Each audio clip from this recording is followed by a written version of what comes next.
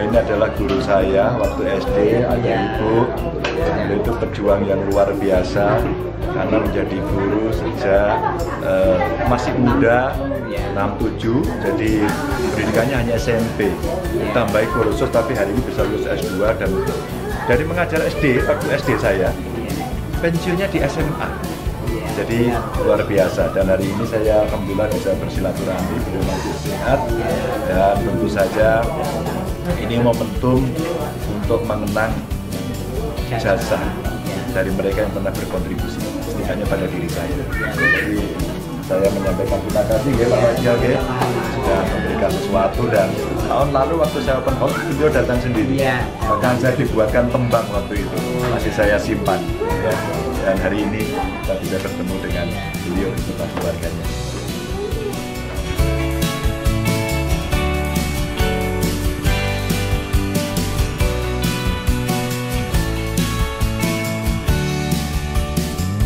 Assalamualaikum warahmatullahi wabarakatuh. Waalaikumsalam Waktu saya mengajar Pak Ganjar atau Mas Ganjar itu kurang lebih tahun 76 dan 77. Waktu itu duduk di kelas 2 dan kelas 3. Saya mengajar Pak Ganjar itu dua tahun mas dua tahun yaitu kelas 2 dan kelas 3 kebetulan Pak Ganjar itu masih saya ingat anaknya rajin, tertib, sopan santun, dan punya tata krama yang bagus. Akhirnya mendapat ranking satu. Bapaknya Asmane, Bapak E namanya, Bapak Parmuji. Saudaranya itu enam. Pak Ganjar itu nomor lima. Saya tahu persis mas. Karena apa mas? Saya jadi walinya. Wali kan mengurusi anak-anak satu kelas. Sampai sekarang saya masih ingat teman Mas Ganjar. Ya itu kurang lebih dulu jumlahnya 28 mas. Satu kelas. Tapi Mas Ganjar itu juara satu. Itu di kelas 3 masuk siang itu kan hujan mas. Itu saya mengatakan apa adanya saja. Waktu hujan itu pakai sepatu itu kan dilepas dari rumah sakaran istilah daerah. Ya sampai di sekolah ya mestinya saya sebagai guru ya saya panggil mas. Tadi hujan sepatunya dilepas. Iya pak ya sekarang dipakai lagi. Itu mas. Jadi benar itu benar saya katakan begitu. Lalu maka saya mengatakan rajin. Nah kalau anak yang tidak rajin ya sudah biar ya sekarang murah karena murah Pak Ganjar itu ekonominya hanya pas-pasan Pak. Saya tahu bahwa Pak Ganjar itu saudaranya enam padahal Bapak seorang itu angkatan kepolisian namanya Brimob di Tawanmangu kan hasilnya ya waktu itu terbatas Pak. Nah ini mas, jadi terus terang saya mengakui Pak Ganjar itu tidak terlalu mampu tapi hanya pas-pasan. Betul, maka itu masa kalah bagus. Bagusnya di mana? Itu itu pendidikan moral Pancasila itu mencapai 9 waktu itu.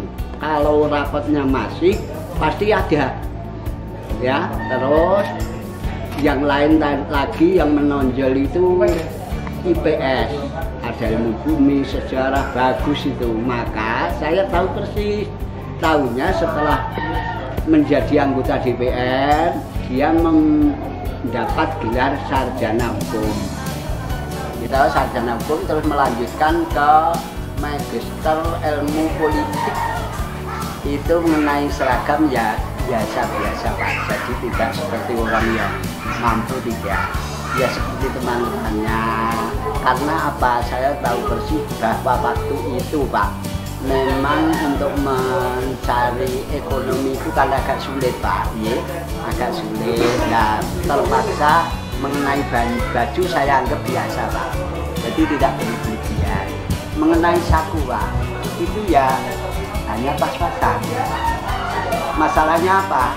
Kalau teman jajan itu kadang-kadang ya sebentar ini tidak saya mengajarkan tidak.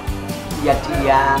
Saya itu sampai gumun setelah dia itu menjadi gubernur mas. Betul. Yang itu kok ya. Tiba berhasil. Di Tawangmangu itu kan ada istilahnya wayang kulit. Budaya itu loh Pak ya. Setelah diadakan wayang kulit saya waktu itu juga datang ke sana Pak.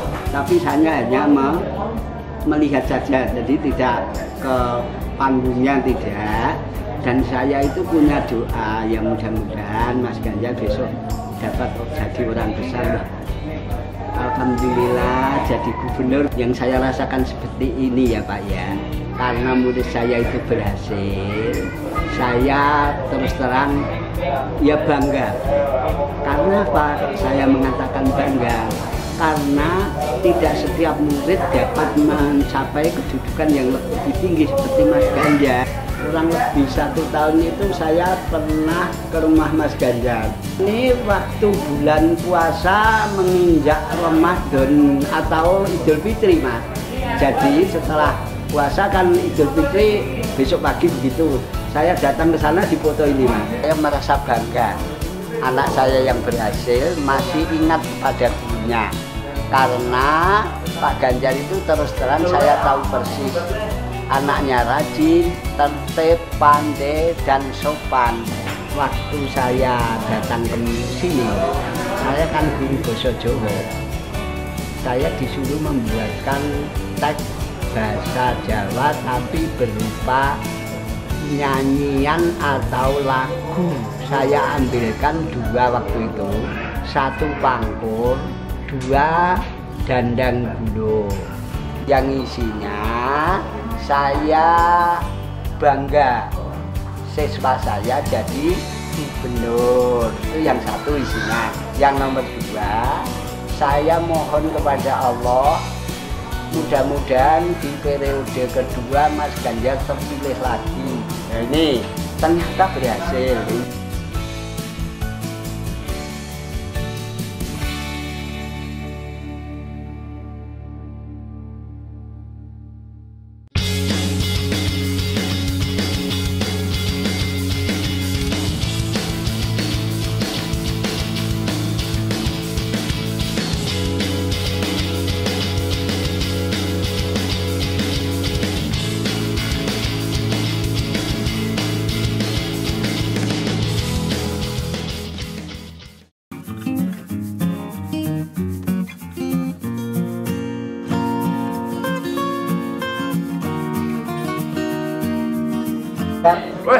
Wah, nah ini ini temen SD saya, namanya Kamso.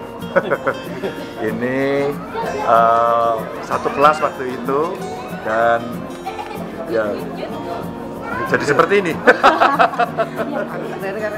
Di. mana mana? Kanca-kanca di kanca-kanca. Ya suruh sini, suruh sini. Ayo. Jadi teman masa SD ini udah banyak sudah datang. Iya iya iya ini ini satu SD satu kelas pernah satu bangku gitu. Tapi dia yang paling baik hati dulu. oh iya iya iya. saya sangat sangat senang sekali sekarang sudah menjadi Tengah saya ucapkan mudah-mudahan bisa membawa anak amanah eh, warga Jawa Tengah Dan ini adalah teman-teman saya semuanya satu SD dulu dan tentu yang penting silaturahmi, yang penting tetap bersaudara, yang penting tetap akrab ya. Karena tidak ada bekas teman sahabat terus. Oke ya, makasih ya. Ya ya ya. Ya, maaf lahir batin, maaf lahir batin ya. Ya ya ya. Ya. Yang ini adiknya yang tadi. Ini Ngadimin ini adiknya Kamso. Jadi kelasnya dulu bareng. Gak tahu yang pinter yang mana ini. Pinter semua. Ayo mata nuwun, mata nuwun ya, maaf lahir batin. Ya ya, ya. Ya, moga moga. Ya, ya.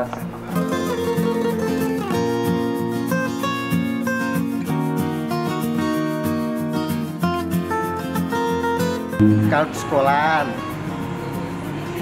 Dia rajin.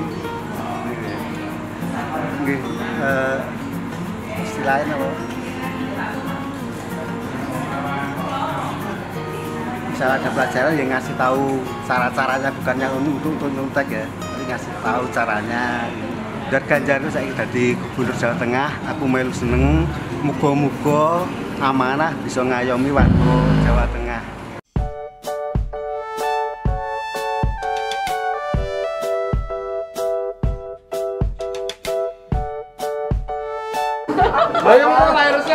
lahirnya kok kok lahirnya turu kok dilus-lus piye? Oh iya, wis foto wis foto kan ya aku. Kan guyu. Ciro lu pak Satu, dua, tiga. Anak nomor piro? Pertama ya orang ini.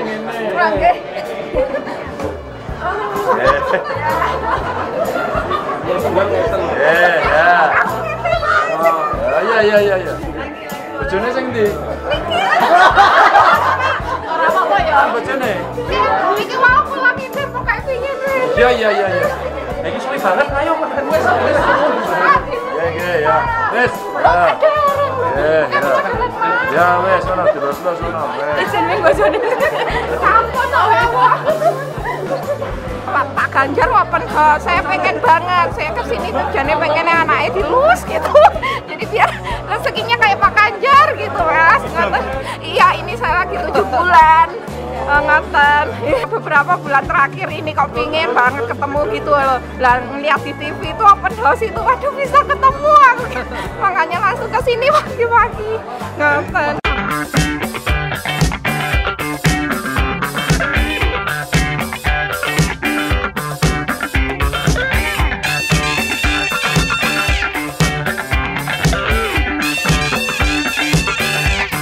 Kalau kenangan ya. Kalau di keluarga itu tiap hari pagi-pagi kita biasanya disuruh bakar minyak karena minyaknya itu beku.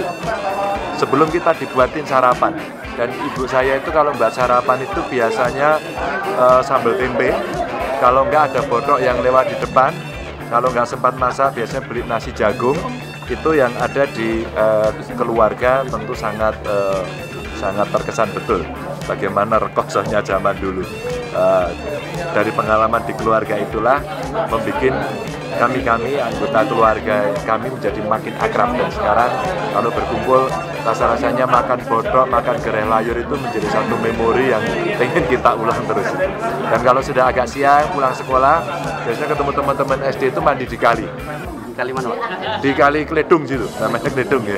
Di kali Kledung itu mandi di kali kadang-kadang sampai sore pulang dimarahi orang tua gitu ya.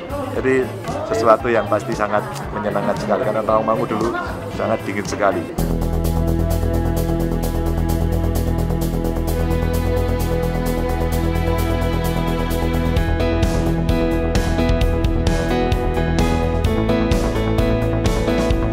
Yang utama adalah silaturahmi Jateng Gayeng itu suasana Gayeng itu suasana yang seneng, yang bahagia, yang semuanya bisa ngobrol asik. Nah keasikan-keasikan ini jangan dicemari dengan hoax, jangan dicemari dengan fitnah, jangan dicemari dengan ujaran-ujaran kebencian, karena ternyata itu membuat friksi yang luar biasa. Kadang-kadang gesekannya tidak hanya di hati dan pikiran, mulai dari kata-kata dan jari itu, tapi juga gesekannya bisa sampai fisik. Nah, yang seperti ini kita uh, titip pada seluruh masyarakat Jawa Tengah, ayo kita jaga guyup rukun masyarakat Jawa Tengah ini agar suasana yang kondusif ini nantinya bisa membuat hubungan antar sesama itu bagus, enak, semuanya senang, bahagia itu penting. Nah, kalau sudah senang semuanya, membangun itu akan gampang ide-ide brilian akan muncul, ide-ide cerdas akan muncul, kreasi inovasi akan muncul. Nah, yang seperti ini mudah-mudahan bisa dijaga. Dan hari ini saya di Tawangmangu merasakan betul suasana kehangatan itu. Di Kutoarjo kemarin juga saya merasakan hal yang sama. Di Purbalingga mereka juga bahagia. Di Purwokerto bahkan saya menemukan situasi yang menarik karena kami sholat id dijaga oleh mereka yang agamanya Nasrani, Katolik, Hindu, Buddha, Konghucu, mereka menjaga. Setelah itu mereka guyup bareng-bareng. Lapangan yang kotor dibersihkan oleh mereka semuanya. Suasana itu suasana yang sangat Indonesia banget. Bhinneka Tunggal Ika banget, Pancasilais, Pol gitu ya. Ini yang kita inginkan untuk kita rawat. Mudik ya, ini istimewa. Saya kira selama sejarah mudik dengan tradisi macet yang pol-polan itu, hari ini terurai dengan sangat lancar Perencanaan-perencanaan dibuat dengan sangat bagus, mulai dari kakor lantas yang mengendalikan seluruh lalu lintas. Menteri Perhubungan saya kira nggak pernah tidur hari ini. Pak Kapolri memantau, Panglima TNI memantau, kami yang di provinsi ini mendapatkan penugasan-penugasan khusus untuk mengatur di wilayah masing-masing. Para bupati wali kota membuat jalur-jalur alternatif.